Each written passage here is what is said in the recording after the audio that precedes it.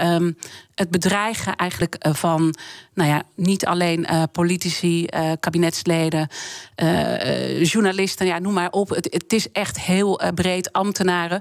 Hoeveel zorgen heeft u daarover als het over onze democratie gaat? Dat, dat vind ik heel zorgelijk. Um, 60% van de burgemeesters krijgt te maken met intimidatie.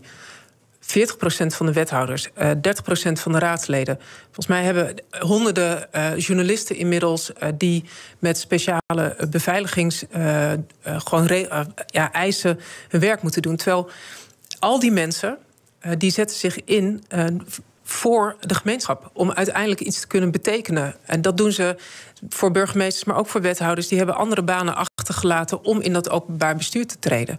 En we mogen het dus nooit normaal vinden. En dat is wel een zorg. Als ik het gesprek aanga.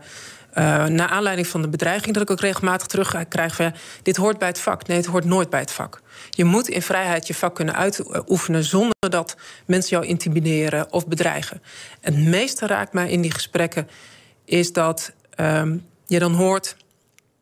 ja, uh, ik kan er zelf nog wel mee omgaan, want het hoort erbij. Maar mijn gezin, mijn kinderen hebben er ook last van. Het raakt dus niet alleen die persoon. En dat moeten mensen zich echt realiseren als ze iets op Twitter gooien. Of als een mail sturen. Of iemand uh, uh, roepen in de supermarkt. Het, je raakt niet alleen degene die dat vak uitoefent... maar je raakt ook een heel gezin daarachter... Mm -hmm. met mhm. kinderen die naar school gaan. En die daar ook last van hebben. Dus realiseer je dat en daarom roep ik ook alle eh, bestuurders op, alle burgemeesters, wethouders en raadsleden. Meld het en doe ook aangifte. En dat laatste zie je dat dat gewoon wel uh, terugzakt.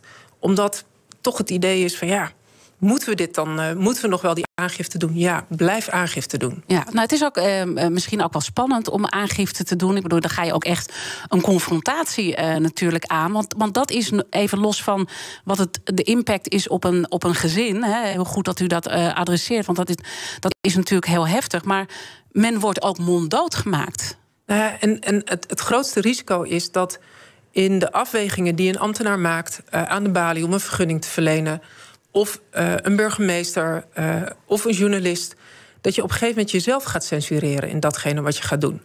Maar dan, dat is echt, uh, dat is echt heel schadelijk voor een democratie als je daarin jezelf beperkingen gaat opleggen.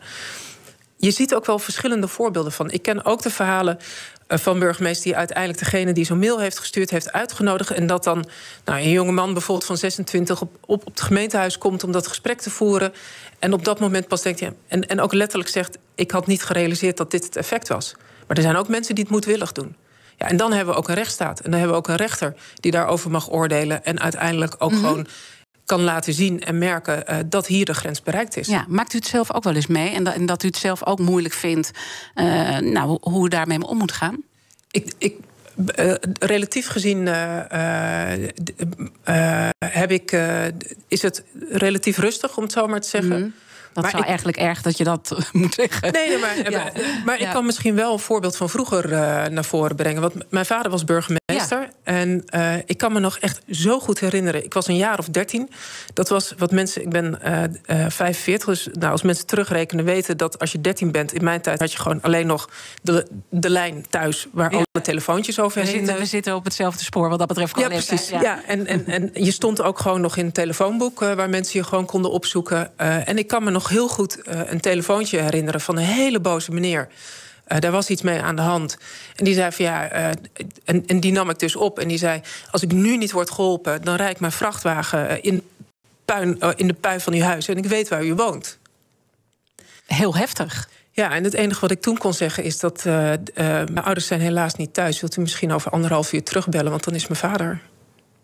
En, maar dat zegt ook iets over u. Bent misschien ook uh, heel rustig en uh, uh, onderkoeld bijna, hoe u daarmee omgaat? Nou, nee, want ik bedoel, het feit dat ik dit nog 30 jaar later herinner, wil zeggen dat het wel gewoon indruk heeft gemaakt. Ja. Maar dat was wat je op dat moment uh, kon doen. Maar dat laat, dat laat dus ook zien uh, dat het dus niet alleen uh, de, de, de, functie raakt, maar het raakt ook de familie daarachter. En da, dat is iets wat, wat zo belangrijk is. Om daarom ook te zeggen, je nooit acceptabel, nooit normaal. En ook de mensen die een keer in boosheid denken... nou gooi ik het op Twitter. Denk alsjeblieft even twee keer na. Ja, dit, dit heeft natuurlijk ook met rolmodellen te maken. Hoe mensen zich gaan gedragen in de maatschappij. Want het is ook interessant om na te denken... hoe zijn we tot dit uh, punt gekomen? En uh, u gaf net aan van... we zijn wel erg gericht op de negatieve excessen. Hè, misschien als het gaat om het verslaan wat er in de Kamer gebeurt. Of laat ik het anders formuleren.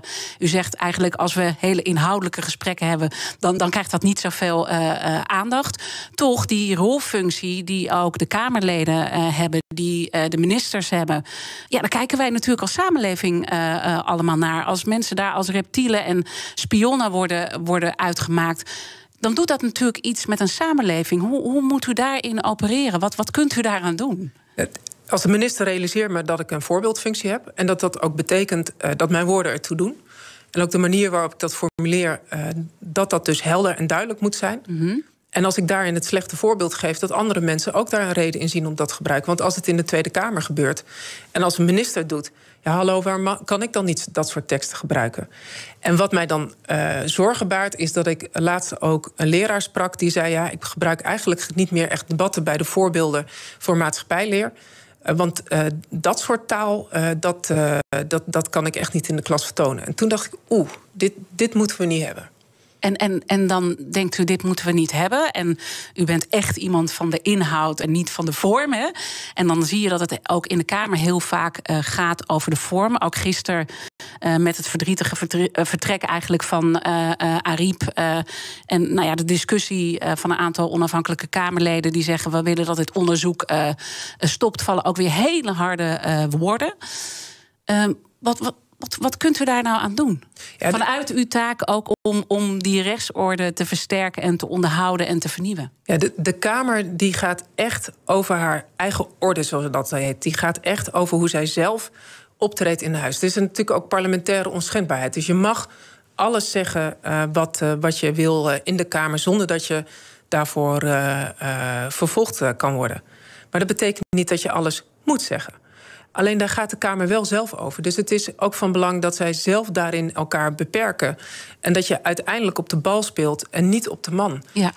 Als ik kijk naar het onderzoek van het Sociaal Cultureel Planbureau, wat, wat u ook aanbracht, maar wat ik ook herken in de gesprekken met mensen, is dat mensen zijn, hebben behoefte aan dat de problemen opgelost worden. Uh, dat we ervoor zorgen dat rondom de stikstof, de koopkracht, dat er stappen gezet worden, dat we zien dat het beter gaat, dat er heipalen in de grond komen. En dat, daar hebben mensen behoefte aan.